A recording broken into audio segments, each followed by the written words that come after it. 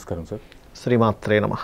Sir last ఎపిసోడ్లో లగ్న భావం గురించి చిన్నపిల్లల గురించి వివరించారు కదా. దాంట్లో ఎన్ని డిఫరెన్సెస్ ఉంటాయి? ఎంతమందికి అంటే ఏజ్ పెరిగిన కొద్దీ వాడి ప్రభావం పెరుగుతుందా? లేకుంటే వాటిపైన ఎలా వివరించగలరు సార్? ఫస్ట్ ఆఫ్ ఆల్ ఏంటంటేనండి మన లగ్న భావంలో మనం ఏ కాంబినేషన్స్ వల్ల ఎటువంటివి జరుగుతాయని గత ఎపిసోడ్లో చెప్పుకున్నాం. ఇంకా రకరకాల కాంబినేషన్స్ వల్ల రకరకాల క్యారెక్టర్స్ తయారవుతూ ఉంటారు. వ్యక్తులు. ఎలా అంటే కొంతమంది చూడండి బాగా అమాయకంగా ఉంటారు. ఆ తల్లిదండ్రులకి భయం వేస్తూ ఉంటుంది. వీడు పెద్ద అయితే ఎలా బ్రతుకుతాడో వీడిని ఎవరైనా మోసం చేస్తారు కదా అది ఇది అని. వాళ్ళకి సర్వసాధారణంగా ఏంటంటే చంద్రుడి యొక్క స్థితి బాగోదు పాపం వాళ్ళకి. చంద్రుడి యొక్క స్థితి శనితో కానీ రాహుతో కానీ అట్లా చంద్ర రాసుల్లో కానీ చంద్ర నక్షత్రాలతో కానీ కొంత కాంబినేషన్స్ ఉంటాయి. ఓకే. అలా ఉన్నప్పుడు ఏమవుతుంటుందంటే వాళ్ళు బాగా అమాయకంగా ఉంటారు. ముఖ్యంగా. అంటే కర్మ కాలానికి చిన్నపిల్లల తత్వంతో సంబంధం ఉందని అర్థం వీళ్ళకి. అంటే మీరు చూడండి అమాయకులు ఎలా ఉంటారు? చిన్నపిల్లల తత్వం లాగే ఉంటుంది వాళ్ళ అమాయకత్వం. అప్పుడు ఆ కాంబినేషన్లో ఉన్నటువంటి ఎనర్జీ ఏదైతే ఉంటుందో అది పెరగకుండా ఆ యొక్క ఎనర్జీ నెగిటివ్ రిజల్ట్స్ ఇవ్వకుండా ఉండాలి అంటే వీళ్ళు చేయాల్సింది ఏమిటంటే తల్లిదండ్రులు పర్టికులర్గా అమాయకంగా పిల్లలు ఉన్నారు పెద్దయ్య గుడిలాగే ఉంటారేమో అని చెప్పి భయపడకుండా వారికి దుర్గా అష్టోత్తరం నేర్పించాలి. ఓకే. చాలా సింపుల్. దుర్గా అష్టోత్తరం నేర్పించడం లేదా దుర్గాదేవికి సంబంధించిన ఒకటి మెడలో వేయడం వాళ్ళకి అది కనుక నేర్పించగలిగితే ఏమవుతుందంటే దుర్గాదేవి యొక్క రక్షణ వాళ్ళని కాపాడుతుంది. ఎందుకంటే ఇక్కడ రాహు ప్రభావం వల్ల వీళ్ళు మోసపోవడం జరుగుతుంది సర్వసాధారణంగా. రాహుకి అధిష్టాన దేవత ఎవరు? దుర్గాదేవి. ఓకే అందుకని ఇది చేయడం ద్వారా మనం రక్షించుకోవచ్చు. ఇది జ్యోతిశాస్త్రం ద్వారా తెలుస్తుంటుంది మనకి. ఓకే. పిల్లల్ని ఎలా ఇది చేయాలనేటువంటిది. ఇక రెండవది ఏంటంటే కొంతమంది వైరాగ్య ద్వారంతో ఉంటారు. నాకు ఏమీ వద్దు. అవును సార్. మీరు చూడండి చిన్నపిల్లలు కొంతమంది అసలు నాకేం వద్దని చెప్పని లేనట్లయితే పెద్ద అవుతున్న నాకు వద్దు నాకు పెళ్ళి వద్దంటారు నాకు అసలు ఎటువంటి సంసారం వద్దంటారు. అటువంటి ధోరణ ప్రత్యేకంగా ఏంటంటే వాళ్ళ జన్మజాతకాల్లో కేతువు యొక్క ప్రభావం వల్ల జరుగుతూ ఉంటుంది. వీళ్ళకేమో బెంగ పట్టుకుంటుంది తల్లిదండ్రులకి. వీడు ఏమీ వద్దంటున్నాడు ఏంటి అసలు? వీడు మరి నెక్స్ట్ సంతానము వివాహము ఏమీ లేకపోతే ఎట్లాగా అని చెప్పి భయం వేస్తూ ఉంటుంది. అలాంటి వారికి ప్రత్యేకంగా గణపతి యొక్క ఆరాధన. ఎందుకంటే వాళ్ళ జన్మజాతకాల్లో కేతు ప్రభావం. కేతు ఏంటంటే వైరాగ్యము జ్ఞానము. అంటే జ్యోతిష్శాస్త్రంలో ఒక్కొక్క గ్రహానికి పర్టికులర్గా కొన్ని కొన్ని కారకత్వాలు చెప్పబడ్డాయి. ఎలా అయితే మనకి చూడండి ఒక్కొక్క ఇన్స్ట్రుమెంట్కి కానీ లేనట్లయితే ఒక్కొక్క ఫుడ్ హ్యాబిట్స్లో మనకి ఒక క్యారెట్స్ తీసుకుంటే అందులో ఫలానా విటమిన్స్ ఉంటాయి ఇవన్నీ చెప్తారు కదా. అలాగే ప్రతి ప్లానెట్కి ఒక కారకత్వం చెప్పబడింది. ఆ రకంగా కేతు యొక్క కారకత్వం ఏంటంటే జ్ఞానం కూడా ఉంటుంది అందులో. అపారమైనటువంటి జ్ఞానకారకుడు కేతు అవుతాడు.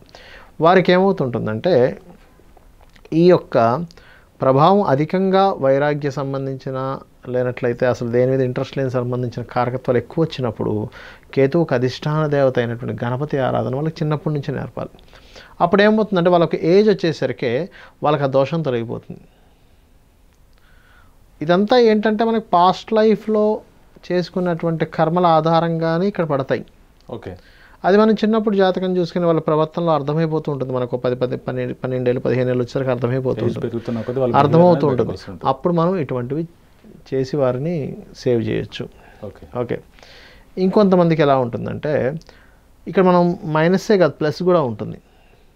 మనం జన్మజాతకంలో చూసుకొని అడ్మినిస్ట్రేషన్ క్వాలిటీస్ బాగుంటాయి కొంతమందికి. వాళ్ళకి సన్ బాగుంటాడు బలంగా.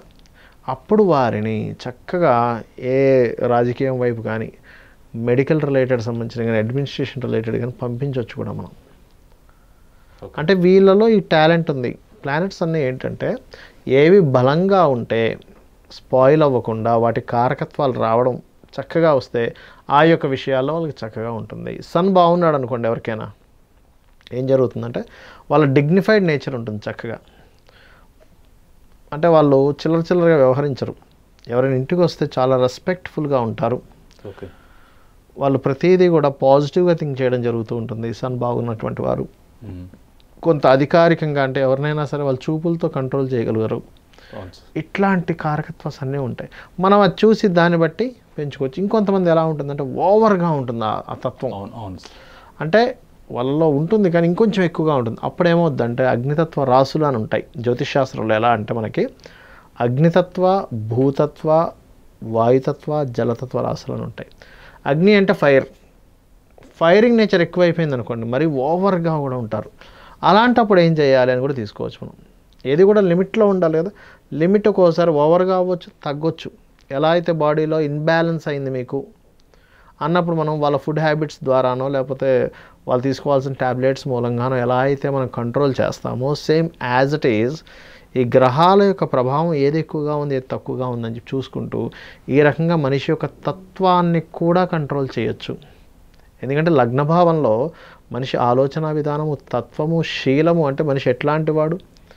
మనిషి చూడ్డానికి ఎలా కనిపిస్తాడు? ఎలా బిహేవ్ చేస్తాడు? ఇవన్నీ కూడా లగ్నభావంలో ఉంటాయి. వీటిని వీటిని తెలుసుకొని మనం ఆ పిల్లలు ఏ ఏ రకంగా మనం వీళ్ళని కంట్రోల్ చేస్తూ తీసుకెళ్ళాలి? ఎందుకంటే ఈ పిల్లవాడు పెద్ద అయిన తర్వాత సరైనటువంటి పద్ధతిలో లేకపోతే తల్లిదండ్రులను కూడా బాధించే స్థితి వస్తుంది. చుట్టాల్లో చెడ్డ పేరు వస్తుంది. మన వీళ్ళ కుటుంబానికి చెడ్డ పేరు వస్తుంది.